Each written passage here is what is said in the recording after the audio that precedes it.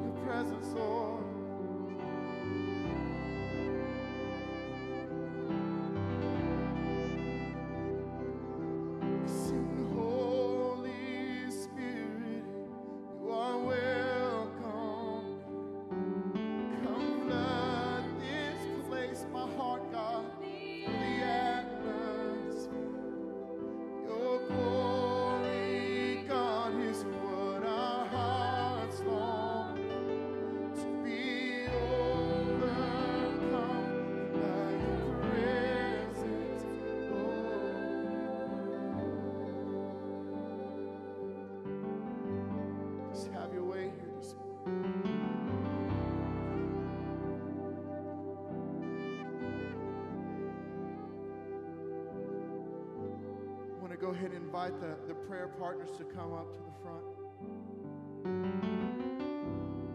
You guys make your way.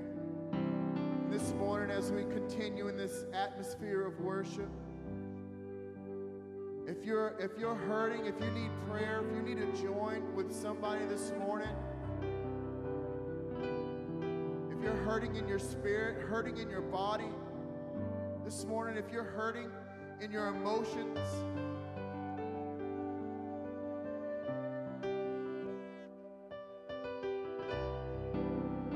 feel like God is saying that uh, that someone is, is still hurting over the loss of a loved one. You may be angry and you may be hurting like tender almost to the touch in your heart. And I believe God is saying this morning that if you will come, if you will come, God will heal you. God will heal your inner hurts. And He'll bring forgiveness and He'll bring and let go. And He'll help you let go of that resentment. And He'll let go, help you let go of that hurt this morning. Will you allow God to work in your life? Will you allow God to work in your life? Just join with us as we continue to worship. Just bless our God together. Sing, Holy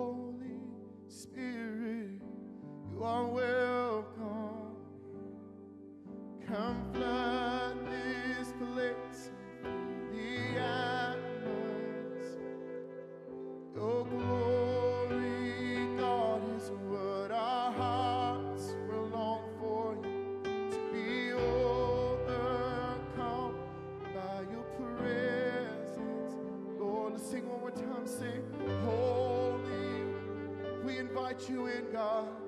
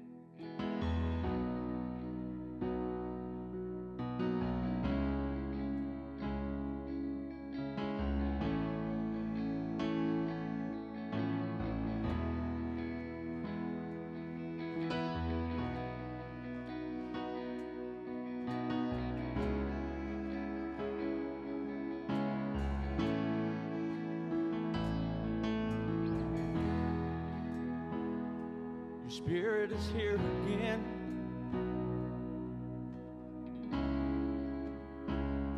To bring life to the dry bones within. The dead will live again.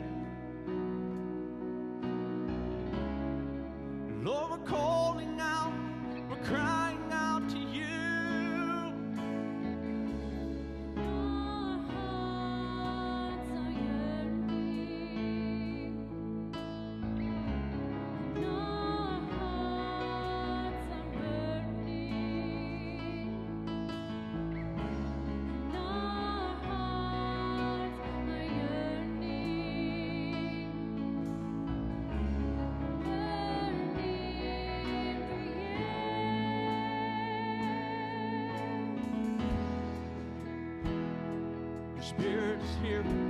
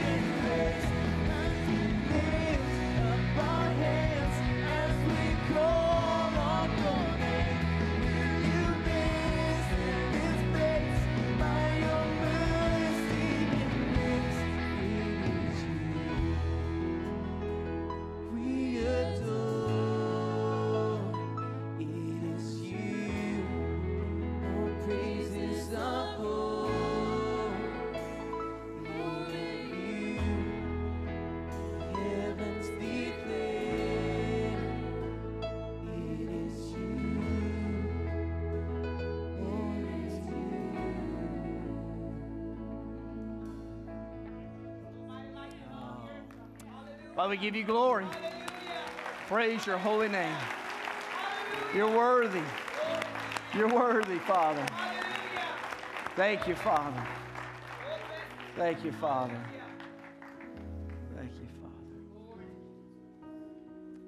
You know, we sing His name is holy, that He is holy. And in that little short word embodies the nature, the character, the love of God, the justice of God.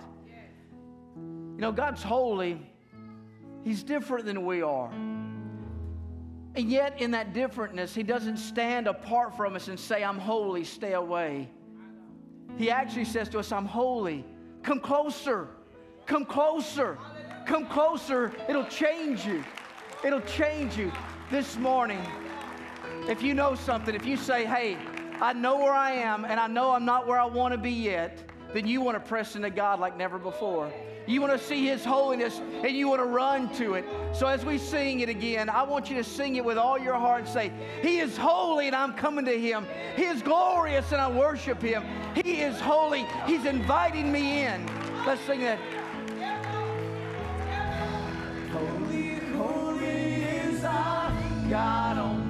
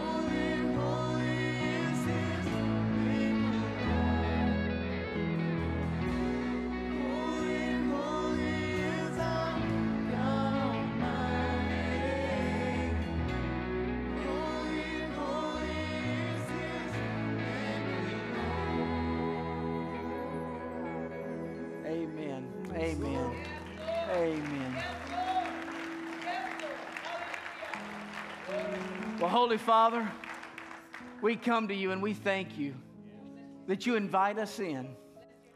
I don't know what our weeks have been like, whether some have had a great week and some have had a week they don't want to repeat.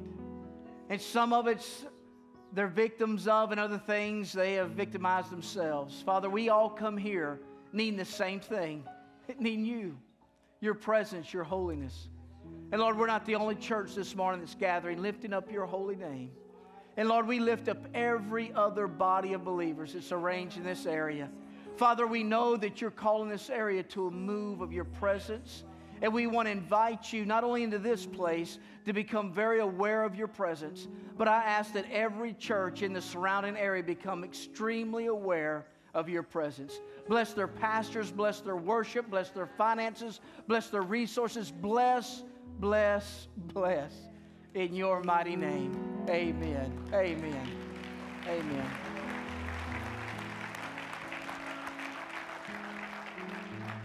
Good morning. Are you glad you braved the rain and came out to the house of God this morning? Amen. Hallelujah. Amen. He's good, isn't he? Amen. Well, hug somebody's neck, shake somebody's hand, and tell them you're glad to be in the house of God and you're glad that they're here this morning.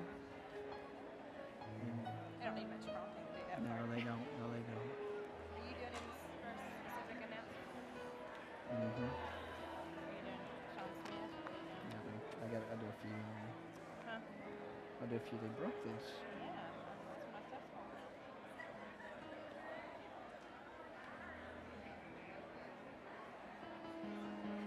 Start making announcement videos. I don't like doing this. Hey, brother. Well, you know, it's good to be able to come to God's house and to gather with His people. You know, the great thing about being in a place where believers gather to worship, we call this church and God's house, but really you're His house. And when we gather together, It's the family of God coming together. And I thank God that we serve a God of abundance. You know, it's because of a God of abundance that we can worship Him and know that His presence, His, His goodness can meet every need we have. It's because we serve a God of abundance that we can bless other churches and say, Father, fill them up, bless them as, as much as possible because there's no competition in the kingdom. You know, it's because of, we have a God of abundance that today He wants to meet your needs. So as, as we listen to the announcements, as we worship, as we hear the message today, know that you have a God that loves you, that wants to meet your needs, that wants to pull you in closer to Him than you've ever been. There's some announcements we want you to be aware of this morning. Listen fast because there's a lot of good stuff going on, and just be aware of what God wants you to do. There's a, a blood drive coming up this Tuesday here at the church. Look at that orange, bright orange thing. Sean Smith is coming. All right. Yeah, September 9th, 10th, 11th. You don't want to miss that. You will miss a blessing. NRG, Energy, Next Radical Generation. We're still looking for volunteers for the children's department, so please talk to Joshua or Risa about that. Cleansing Stream, now in progress. Signing up for the next fall fall session will start in September. Be aware of that, and you see how you can sign up there. Wonder Women, I don't have an insert, sorry. Uh, Wonder Women, our next luncheon will be Saturday, September 1st. You can meet me at the table after service and sign up. Please pay today if you think you might come. We need to get as accurate a head count as we can. It will be a wonderful meal, I promise. And Ellen Kuhn will be our special speaker. All right. Well, we have uh, several things going on. You'll notice in your bulletin, we're coming in. Today is the last day to nominate anybody for the uh, board. Uh, we have a, a, great board here at Community Church. They are uh, men that love God, that want to see the, the body of Christ advance in every way possible. Uh, we told you about four openings we had. Well, we just had another opening come up. Many of you know Richard Hargrave has been battling uh, stroke and other things for quite some time. Keep him in your prayers. But we want to give honor where honor's due, and he has served faithfully. But, uh, you know, sometimes we have late meetings. They care so much about you. Not only do we eat a meal, but they stay till 9.30, 10 o'clock uh, talking in the driveway afterward uh, because they like each other. Well, that schedule doesn't always match uh, Richard's recovery. So he's having to step back for a little while. So there's one more name that's been mentioned. But will you join me in honoring Richard? I know it was a difficult decision. Richard, we appreciate you.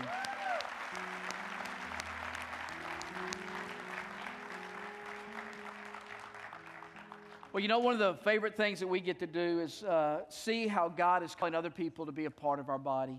And uh, this uh, last Saturday, or a couple of Saturdays ago, we got to do uh, another member, uh, uh, new members class, a little workshop. And so I'm going to invite first uh, our staff members and board members. If you'll make your way up here and kind of get at the front, and that way we'll be ready to welcome them.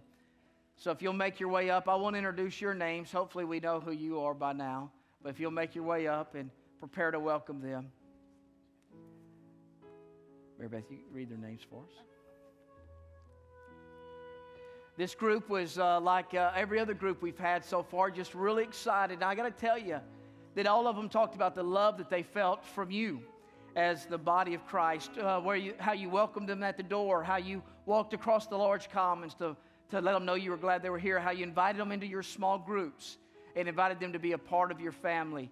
You know, we grow the church and the body grows locally, not because uh, just how uh, wonderful the worship is, or even uh, in some churches how dynamic the preaching is, but we grow it because the body of Christ loves one another. And it's your love as you love them that these people are coming here saying, I want to be a part of that body. So, Mary Beth, as Mary Beth calls out your name, uh, we'll uh, clap for you and uh, you'll come by and we'll shake your hands and welcome you. James and Glenda Bland, Monica Boone, Jared. Oh, Yeah.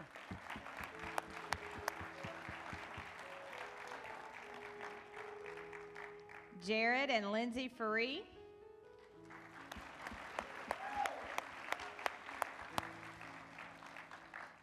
Sonia Henry, There she is. Denise Jolly,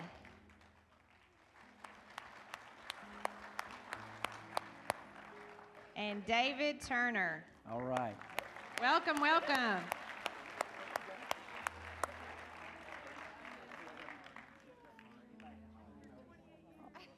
All right. You know, this is a unique group uh, that's coming through. We have people that have been here a very short time and just came in to be a part of the body and fell in love.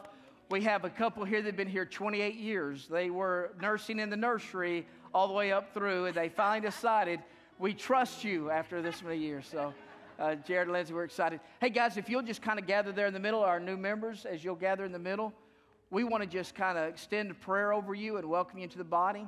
I talked to them, church, about this. Uh, not only are we welcoming them into our body, but we're not, we're not just taking in members. Um, we're taking in people that are saying we want to contribute who God's made us, our experiences, our life, our resources into the vision of this house.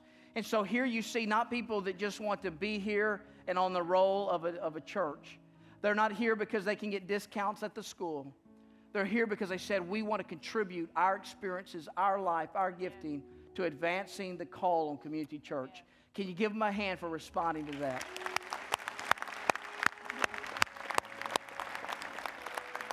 Well, guys, let's lay our hands on them. Church, if you'll reach your hand forward, and we're just going to pray a blessing over you. Father, we come to you in the name of Jesus, and we lift up each and every new member we have. And Father, we ask that this will be a blessing to them, that they will know that they're loved, that they belong, that they have a place to invest their resources, that they can learn to be a follower of Christ here. And Father, I ask that as they contribute, that you will bless every seed that they sow, whether it's through the efforts of their hands, the extensions of their resources financially or time. Father, that their experiences will learn from them. And Father, together, we're stronger than we are without them. Father, I thank you as the body for saying that you're sending them to us because they have things that we need. So, Father, we, we commit together to serve you, to honor you, to hold each other accountable in growth, in upward, in an upward direction to that high calling that you've given us in Christ Jesus. Thank you, Father, in Jesus' name. Amen. Amen. God bless you guys. God bless you guys.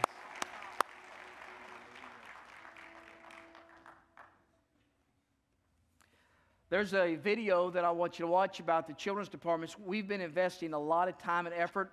Just met with the architect again Friday uh, with uh, Tom Reynolds from the city. Guys, uh, they're going to work on a, a, 3D video of what uh, the proposals are that the board has got to approve and then present to the church. But there are great things. I'm telling you, great things are coming. But part of preparing for that is uh, God's sending more kids right now to us than we have volunteers to work with them that are trained. And so the good news is the volunteers are in this room.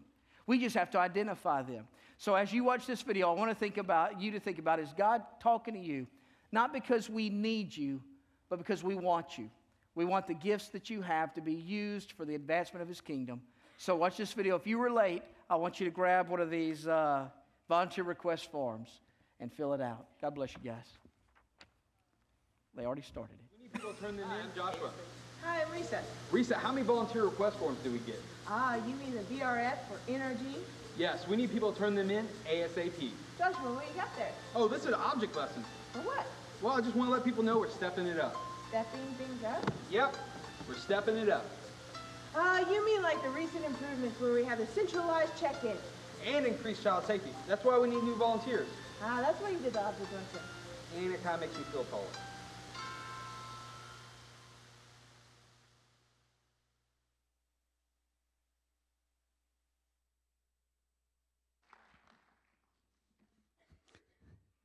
Well, I've been here long enough. Somebody says we need volunteers, and I think you're just supposed to jump up and come to the front. So what? I, I volunteer for children's church. Yay!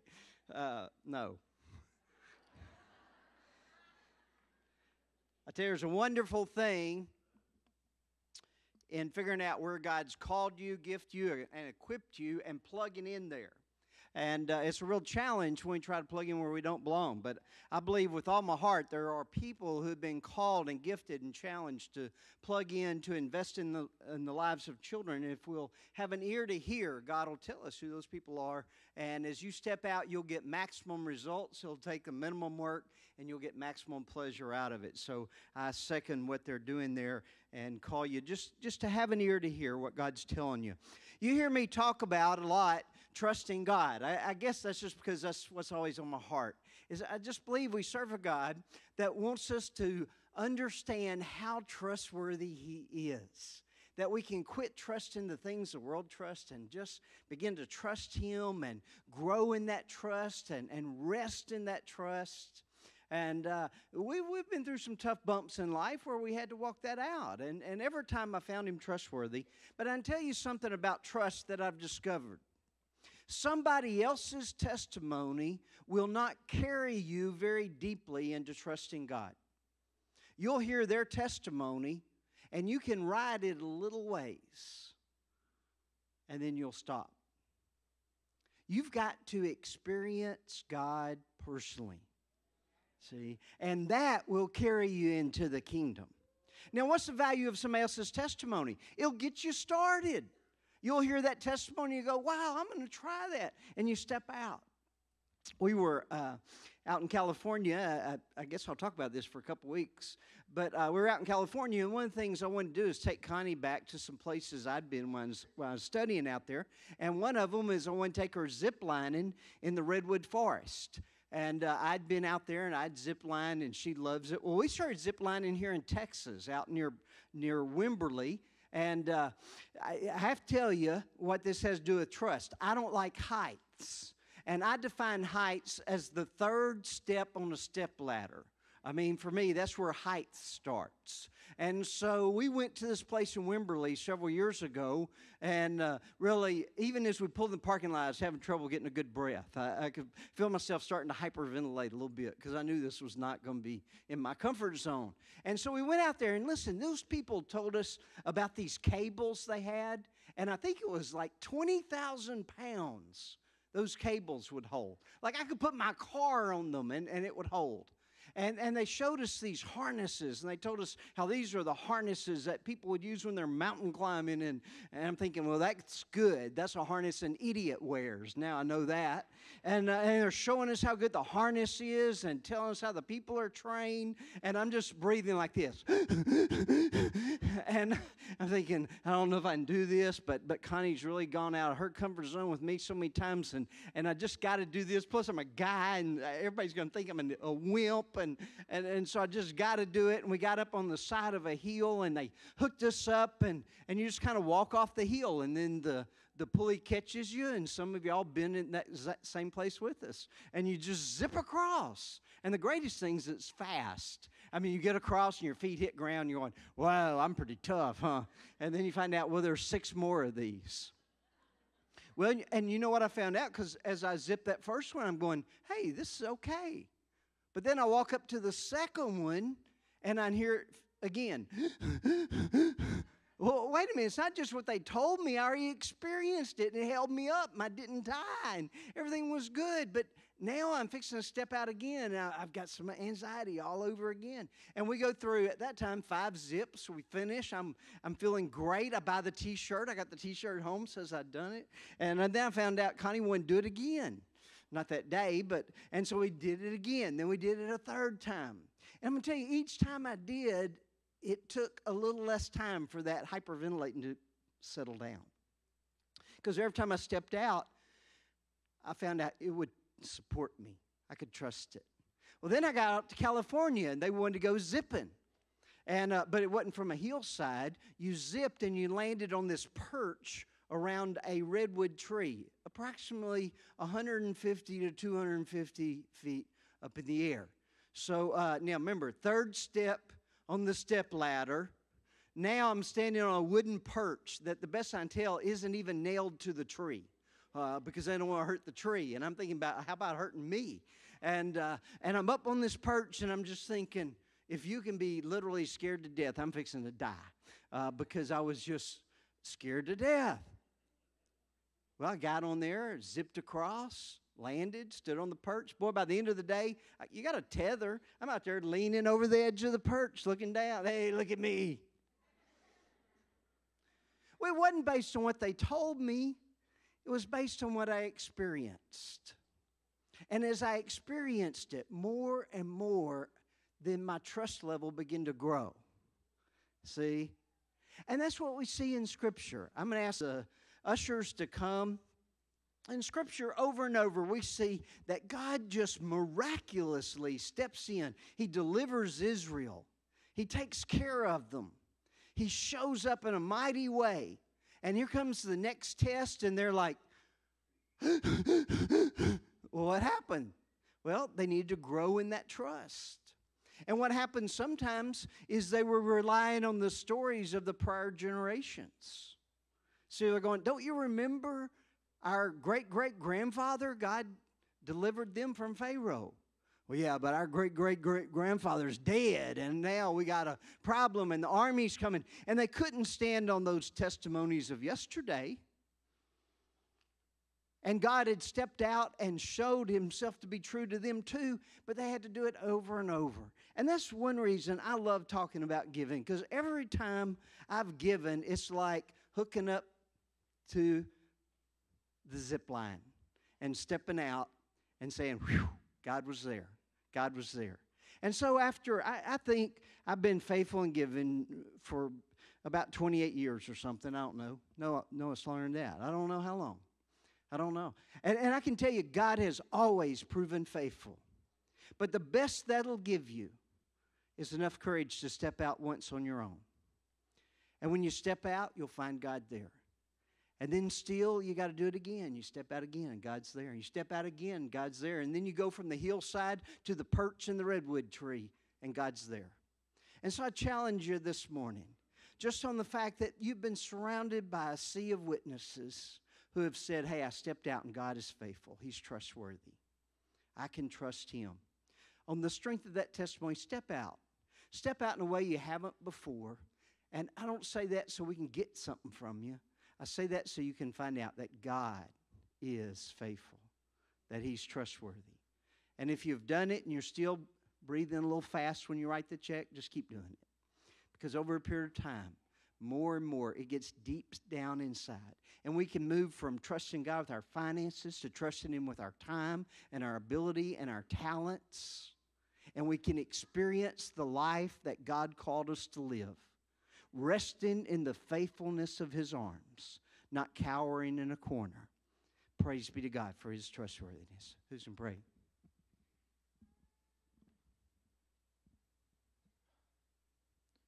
Dear Heavenly Father, you're such a good God who loves mankind. In the beginning, you created everything out of nothing in six days. And after each day, you said what you created was good. And after you finished, we failed you. We sinned and fell short.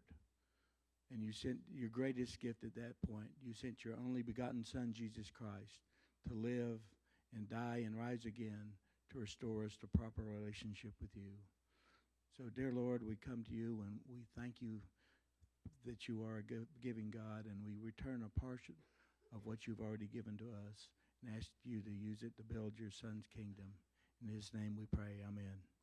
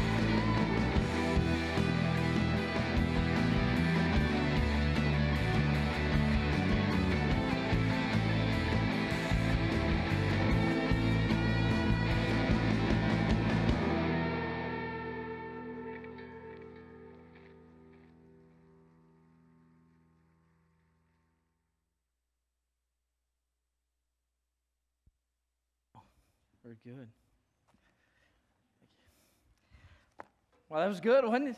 Man.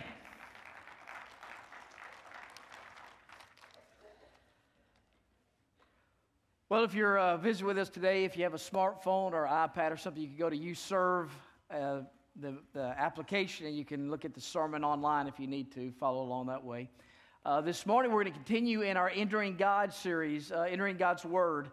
Uh, we've been, as a church, reading through God's Word over the last several months, uh, allowing God to speak to us as a body and seeing what He's doing in our midst and how to uh, how to read God's word while entering into Scripture so it becomes more alive and more real to us. You know, so often when we talk about testimonies and hearing other people's testimonies and what that does for us, so often that does become a catalyst in our lives where we, we believe God can do more. Uh, a couple of weeks ago, I had a lady come up to me and share, and I shared it with the prayer partners. Uh, she said she came up and had prayer, and uh, she had a kidney issue. I'm looking to see if I can see her. She's here. Hey, come on up. There you go. Come on up. we want to, we want to hear about that testimony. I think I have a microphone. There we go. Give her a hand as she comes up. She's a little nervous.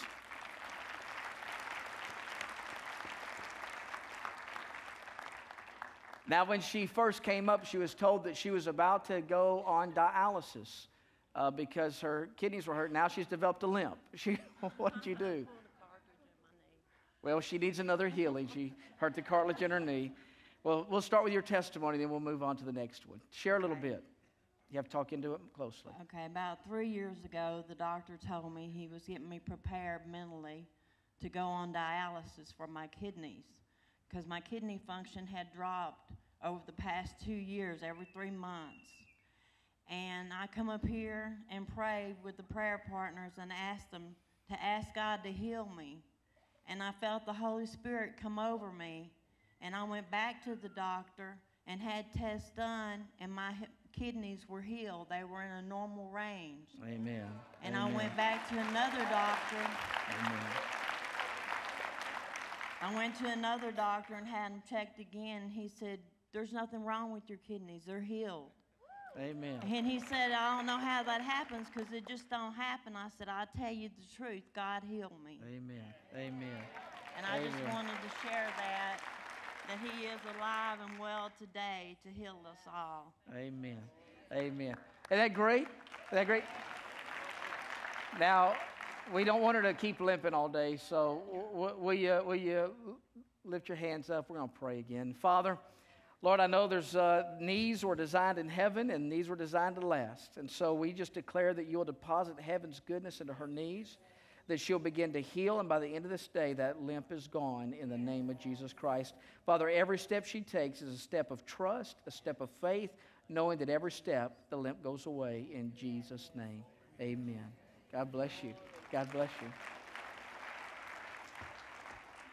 You know, isn't that wonderful to just uh, to be able to hear?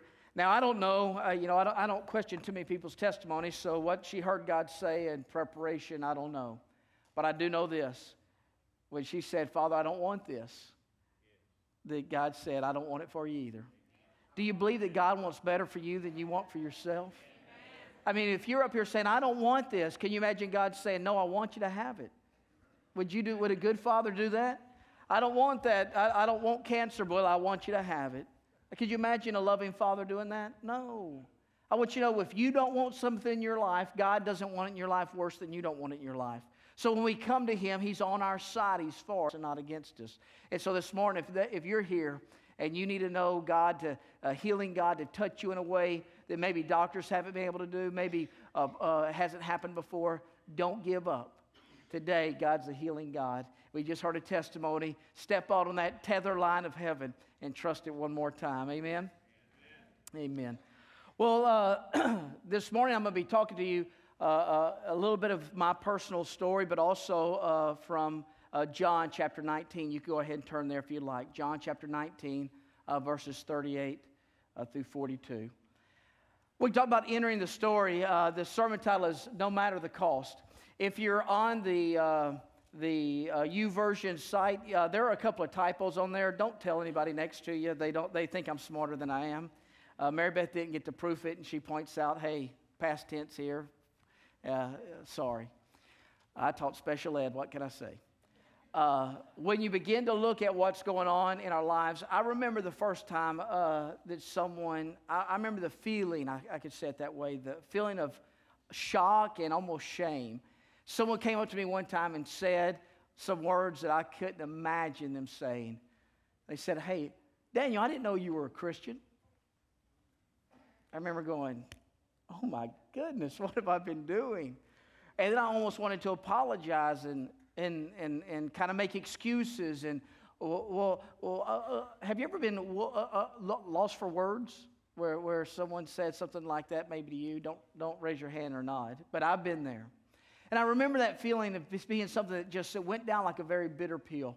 And I knew that condemnation didn't come from God, but I knew that it was a real feeling that I was feeling, that I had not lived out my faith in a way. And I knew that I believed in Jesus Christ, and I believed that He died on the cross for my sins, and I believed that He was real. But there was a disconnect between my belief and my actions. But the way I, I, I decided that day, I said, I'm going to start living like I believe.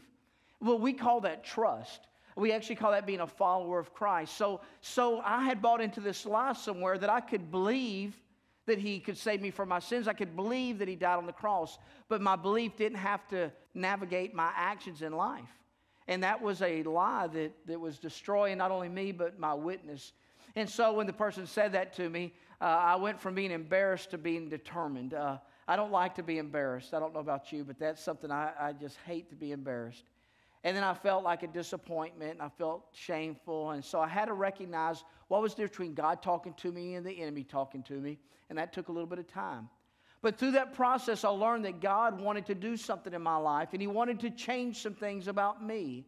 And maybe you've been there where you've heard those same words, or maybe you felt that way. Nobody really knows the real me. Nobody knows who I am. Nobody knows the way I live. But it's my goal to begin to where I live, uh, where I work, where I play, that everybody knows that is a follower of Jesus Christ. I am a follower of Jesus Christ. Not only do I believe, but I follow with my life. And so I want to talk to you about how that happens in our lives. And sometimes there's very pivotal moments that we begin to grab a hold of and gravitate to. And I pray that today will begin to be a pivotal moment in your life. In John chapter 19, verse 32, it gives the story of Jesus. He has just died on the cross. Let's get a little background check about the greatest demonstration of love the world has ever seen. We heard uh, Robert pray just a little while ago. The world had gone through sin. Uh, the, uh, Adam and Eve had introduced sin into the world. We had lived in a fallen uh, nature. We needed to be redeemed, the Bible says. We needed to be bought back, and there was a price that had to be paid. Jesus Christ came and he lived a perfect life. He was born of a virgin, the Bible tells us. He lived a perfect life without sin. Though he was tested in every way you and I have been tested in, he was without sin. And because of that, men rejected him. The Sanhedrin rejected him. Uh, the, the high priest rejected him. The Pharisees and Sadducees rejected him. The scribes rejected him. Rome rejected him. And he ended up beaten and nailed to a cross. And he died on that cross in a short time span. And then it picks up here where the greatest love that have ever been demonstrated was on the cross of God. When God wants to show how much He loves you, all you have to do is look at the cross. With God's arms stretched open, He's saying, I love you. I accept you. I'm here for you. I want you to be part of who I am. Jesus was holy. And he said, Come unto me, all you who are weary and heavy laden, and I will give you rest. Learn from me. Take my yoke upon you. My burden is easy and light. My yoke is easy. My burden is light. Come. And so we began to see this, this God making himself available to mankind. And we see this great love unfold. Well, in John chapter 19, I mean, chapter 19, verse 32, it says that Joseph of Arimathea went to Pilate and asked. Now, it says that he was a secret follower of Jesus, for he was afraid of the Jews. Now, we go on to find out that he was a rich man in Matthew. We find out that he was a part of the, the leadership, he was a part of the Sanhedrin. He was incognito, he was undercover Christian with the Sanhedrin. The Sanhedrin are the one that were the rulers in the Jewish uh, uh, belief system. There were 70 of them, and he was part of that. They were the ones who went before Pilate and said, Crucify him, kill him. He's no friend of Rome. You've got to take him out. Sanhedrin, the rulers. Well, Joseph of Arimathea was a part of that group Imagine being in an environment where you were a secret follower of Jesus and you see them destroying him. and you feel torn. But, it, it, but he lived in that tension. I don't know how long, but he lived in that tension for a while. And then that greatest demonstration of love began to melt things away in him. And he went to Pilate and said, I'd like to bury him. I'd like to have his body. And it tells us that not only Joseph of Arimathea, but Nicodemus went. You remember Nicodemus, don't you? He's the one that came to Jesus secretly at night and asked about what it meant to enter the kingdom of God. And he said, You have to be born again. How can a man enter again into the mother's womb to be born again? He says, You don't understand the things that you're teaching. And so he begins to talk to him. Somewhere along the way, he became a follower of Jesus secretly. And I can relate to them like never before. Used to, I would read this passage and I would think, oh man, what cowards they were, secretly following Jesus. Fear. You know what? You know what fear will do to your life? Fear of man. Fear of man will cause you to follow from a distance. It will cause you to bury your beliefs. You will be treasure hidden in a field without anybody to hold you. But somewhere the cross of Jesus broke into that. And somewhere they found courage and they went at the most pivotal time in human history, the cross of Christ.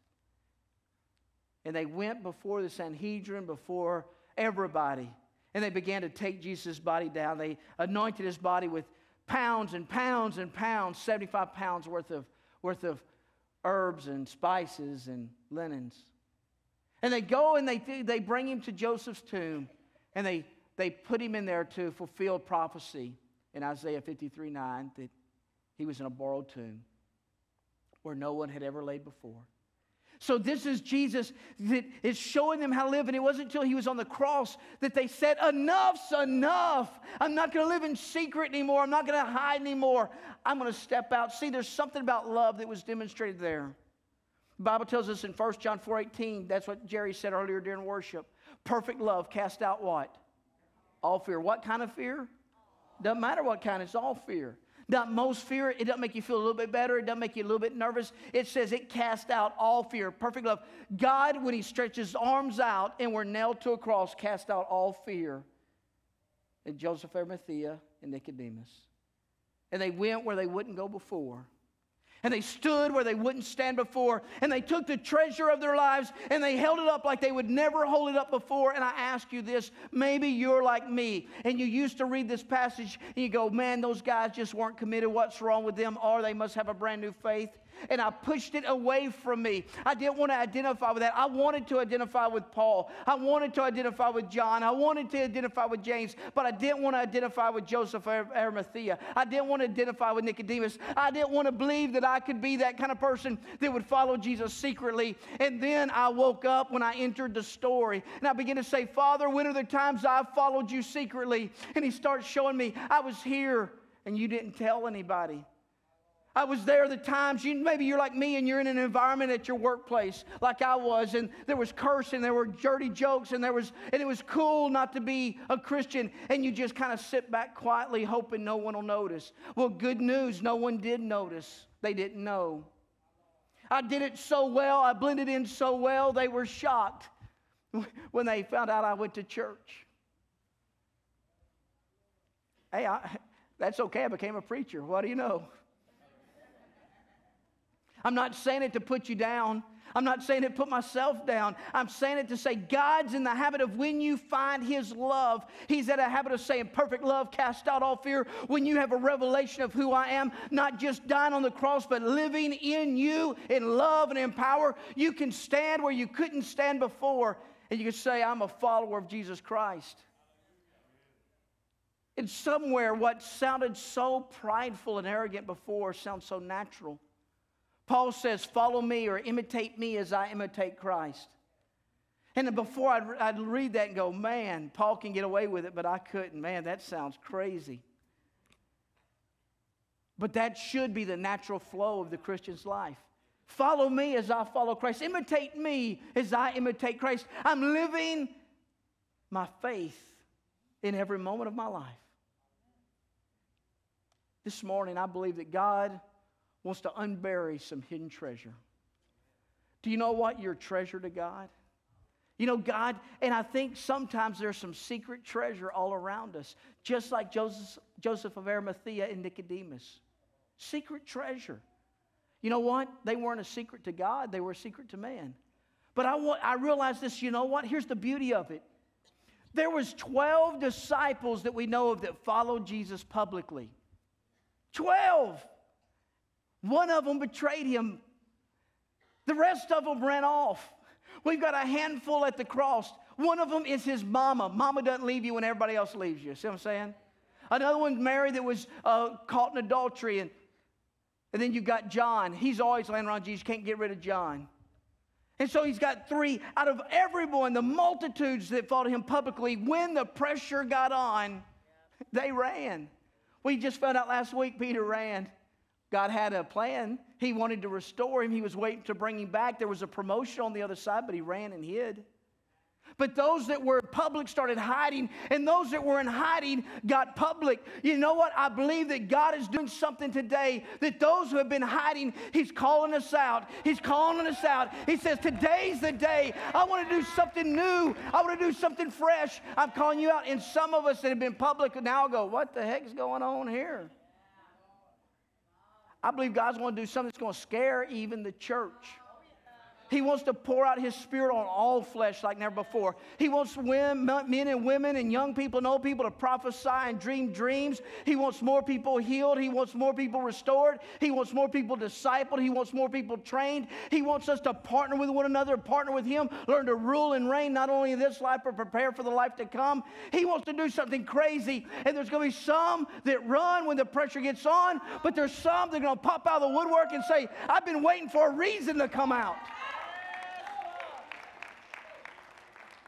You know what? We've been reading a lot about people coming out. People start coming out, it's scary? Someone told me something about someone that I, I like a lot, found out that had some baggage coming out. And I said, Oh gosh, don't tell me anymore. I'm getting nauseated. Don't mess with me like that.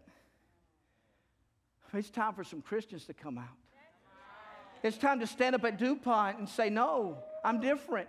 You know what? I believe that DuPont will write you a thank you letter because they're looking for some honest employees who won't steal their stuff and walk out the gate with it. They're looking for some honest employees who will actually put in a day's work and not try to get something from the man, but give back to those. He's looking for some people, and guess what? The world's looking too for some believers that will step up and say, You may have not have known me before, but you're going to know me now. You know what? Joseph of Arimathea was not mentioned before or after. Every gospel contains Joseph of Arimathea. We don't even know where Arimathea is. It's someplace in Judea, the Bible tells us. It's not on a map anywhere. The only reason Arimathea even exists today in literature is because a man stood up and said, I'm tired of hiding. I'm going to come out of the closet and I'm going to show my true colors. He put Arimathea on the eternal map, and you can't find it on another one. I mean, I don't know what God wants to do with orange. I think we still show up on the maps. But I believe He wants to put orange on a map of His Spirit like never before. And that's going to take some people. And they're going to say, Kent of Bridge City. Wow. David Burkheimer of Orange slash Jasper. Going to say, Raymond. What's that little place before Deweyville? Hartford. Hartford. Like, ah, I forgot it all of a sudden. Sorry. Had a V8 moment. Imagine. Now, I'm not talking about people that are hiding now. I'm talking about people that are very public. But I want you to ask yourself Have I been hiding? Have I let the fear, you know, some people think, well, if I live out my faith everywhere, I can't be a businessman. I can't be in this business or in that business. I had someone tell me one time, I've shared with the church many times that my goal is I want to be able to reverse tithe. And so to do that, we're trying to build uh, real estate and, and begin to invest that way. And I was talking about how to invest, and I had someone that I know very well tell me that I had to, had to kind of fudge some facts. I said, I can't do that. I said, I, you know, I trust the kingdom. I'm not going to do that. And the person said, Well, Daniel, you're in real estate now. I said, Listen, if the kingdom can't work in real estate, the kingdom can't work. Now, I'm not trying to put that person down. I'm just saying he bought the lie. And I pray that today, in real estate or in any other part of our lives, that we can say the kingdom works here as well as it works here. The only reason the kingdom doesn't work there is because of fear. But good news perfect love casts out all fear. I can live in the kingdom. I used to have football coaches kind of laugh at me because I would try to give a pep talk to a bunch of young kids. You know, when you don't curse, pep talks sound kind of funny to them. You know, I'd get red, my veins popping out of my neck, and I'm telling and we're going to go out there and we're going to kick some tail. And the guys would go, kick some tail. Come on, say something a little more tough than that tail, coach. Kick their rears. And then I love what Chip, Chip Bram said here on a Sunday morning. I'm going to rip your head off in the name of Jesus. And I said, I found one. I found one. Found one I can use. But I never gave up on the kingdom. Guys, I want to tell you, my journey is probably a very similar journey. The good news is, just like Joseph of Arimathea and Nicodemus, he took someone that lived secretly, followed from a distance, and buried their beliefs. And he lifted me up.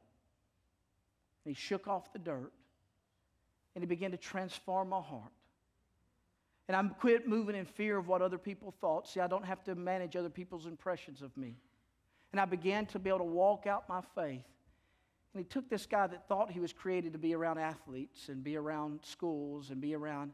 He said, No, I created you to lead the kingdom forward. And I believe he's wanting to do that for a whole lot of us. And not everybody will go into vocational ministry, but you don't have to. See, you're still ministers. See, you still have a calling of God on your life. Whether you're at the plant, whether you're at your home, I just know this. Where you live, where you work, and where you play, you are perfectly positioned to bring glory to God. God wants to do wonderful, amazing things through your life.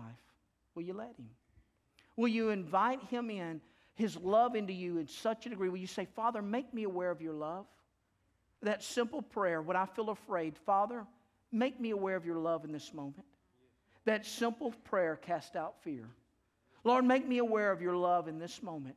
Lord, I don't know if I want to share that. Make me aware of your love in this moment. Lord, I don't know if I want to go to the front of the church and share my testimony. I'm nervous. But Lord, make me aware of your love in this moment. Lord, I don't know if I want to talk to them about that. Make me aware of your love in this moment. And something happens. The word becomes alive. And perfect love cast out all fear. This morning, are you ready? Are you ready?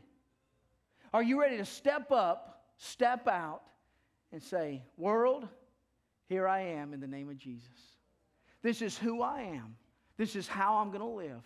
I'm not living to put you down or to judge anyone else. I'm just living out of love. And I've discovered something as we live out of love, we live a life that other people say, I want some of that. I don't have to judge other people. I don't have to point my finger at people. I don't have to tell people how wrong they are. I don't have to get in debates with people. All I have to do is say, I live out of love, and they want what I have. I've had people come and say, Tell me, what's so, what's, what is it about your house? We live out of love. What is it about your faith? We live out of love. Oh, you have wisdom. We live out of love. I've discovered the more I decrease, the more he increases, and something wonderful happens. I lift him up, he draws all men to himself. It's something that's not about Daniel Rose. It's not about community church. It's not about you. It's about Him. And when we live in love with Him, He begins to sift off those things that held us back in the past. God's calling you to a higher level. God's preparing you for promotion. But He's calling you out of the dark. He's calling you out of the corners. He's calling you out of the closets. He's calling you out of the hiding places and say, Today, do you love me enough and have you experienced enough of my love to where the fear of the you fill in the blank will not hold you back any longer? The fear of the Lord is the beginning of wisdom. The fear of men, the fear of loss, the fear of things being taken away, the fear of rejection is the beginning of being buried. Let's have the fear of the Lord, because when the fear of the Lord comes love, comes His presence. Will you bow your heads with me? Father, we come to you in the name of Jesus. And Lord, I lift up each and every person. Maybe there's some people here this morning that have felt like I have. Times that I've followed you secretly and I people didn't even know I was a believer. Lord, I thank you that you have a way of not even chastising, just loving and redeeming and shaking those things off and establishing. Lord, this morning, may it be a day that you establish another generation of Nicodemus, that you, that you establish another generation of Josephs of Arimathea. Father, this be a day where people begin to say, I'll no longer hide who I am. Because when I hide who I am, I'm not any longer. Lord, today you're calling us to another level. You're calling us to a place where we will live without the fear of men. We will live without the fear of the enemy. We will live without the fear of loss. We will only live in the light of the love of Jesus Christ.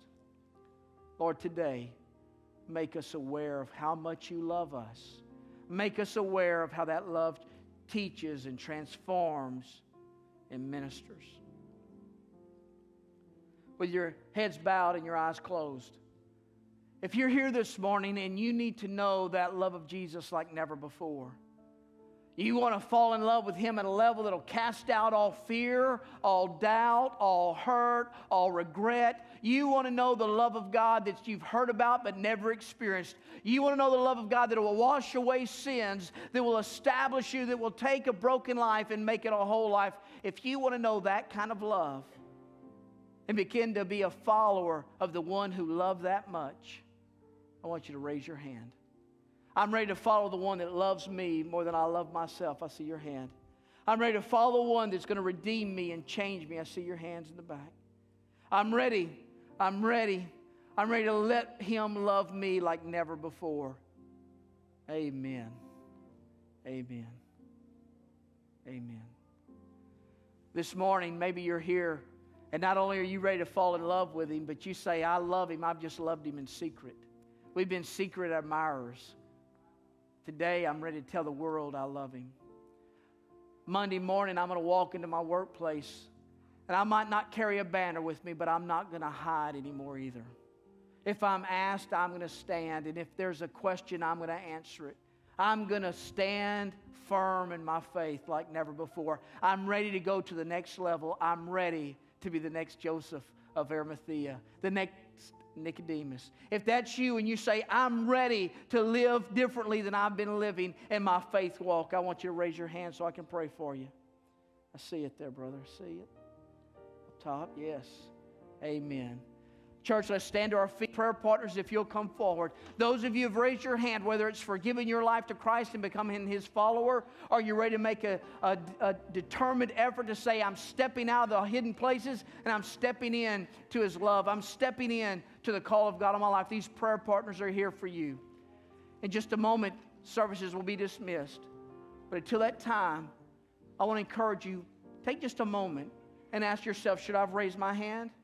Am I going to help someone else raise theirs? Because, church, I'm telling you, God's calling us to be a city on a hill. God's calling us to be a people who will live free of fear and regret because fear will keep us from where God is calling us to be. Fear kept the children of Israel out of the promised land.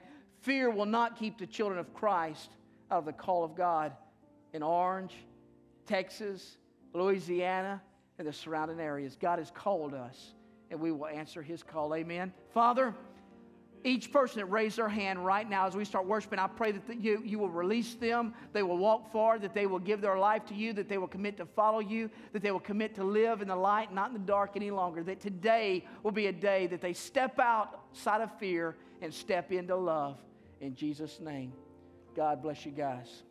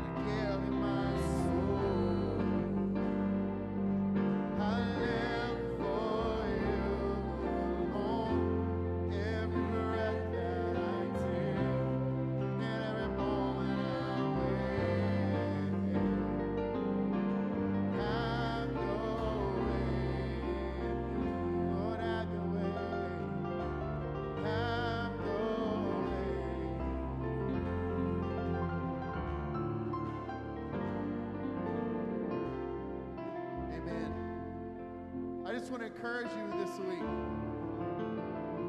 Let's allow God's love to cast out all fear from our lives. Amen. Let's not live in secret, but let's step out in faith. Amen. Let this week be an awesome week. An awesome week in your job, in your family. Let's open our eyes to opportunities for God to move in us. Amen. Let me pray for you guys and you'll be dismissed.